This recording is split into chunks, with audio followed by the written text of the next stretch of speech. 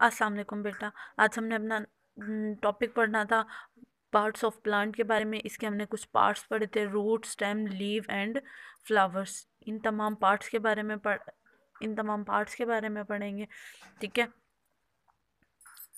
Roots आपको पता है roots roots of the plant are under the ground root जड़ें जड़ें जो होती हैं वो ज़मीन के नीचे पाई जाती हैं। The main function of the root is to absorb water and nutrient from the soil.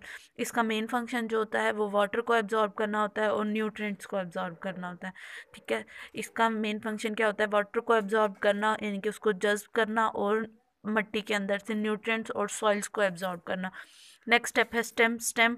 इसका स्टेम कहते हैं तने को और जो बारीक सी लकड़ी होती है ना बारीक सी लकड़ी होती है पौधे के छोटे से पौधे के नीचे, उसको कहते हैं stem stem carries water and nutrients to different part of the plant stem का काम होता है रूट से वाटर को एब्जॉर्ब करना और प्लांट के दूसरे हिस्सों तक पहुंचाना। क्या काम होता है रूट से एब्जॉर्ब करना और प्लांट के दूसरे हिस्सों तक पहुंचाना। Stem support the upper part of the plant और स्टेम का काम होता है उसके अपर पार्ट को ऊपर वाले हिस्से को, यानी कि इस तमाम हिस्से को क्या करना सपोर्ट करना, उसको मजबूती देना। नेक्स्ट है leave green leave make food for the plant leaves का काम होता है प्लांट के लिए खुराक तैयार करना। लीव्स ग्रीन कलर के होते हैं और इनके अंदर एक माया होता है, जिसे कहते हैं क्रोलोफिल ठीक है? और उसका काम क्या होता है? पौधे के लिए खुराक तैयार करना। They make food in the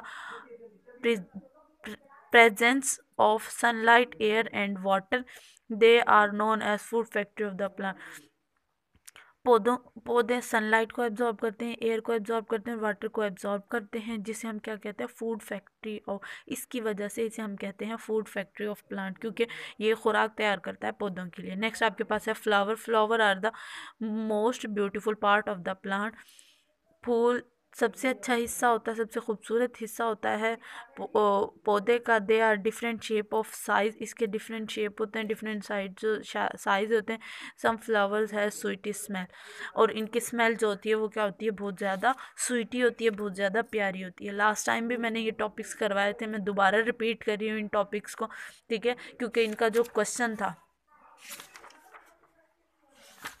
ठीक है? इनका जो क्वेश्चन था, वो रह गया था। वो हमने होमवर्क पे मैंने वो वाला होमवर्क पे क्वेश्चन देना था।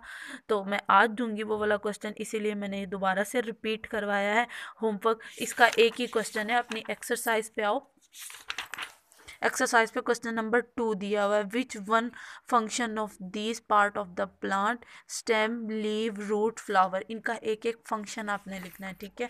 इसमें से ये जो जितने आपको टॉपिक दिए हुए इन टॉपिक में से एक एक फ़ंक्शन लिखोगे और ये आप, यही आपका होमवर्क है। होमवर्क आप सबका साफ़ सुथरा नीट एंड क्लीन होना चाहिए, ठीक है? और अपना होमवर्क सैटरडे वाले दिन आप सब सबमिट भी करवाओगे। अल्लाह हाफिज़।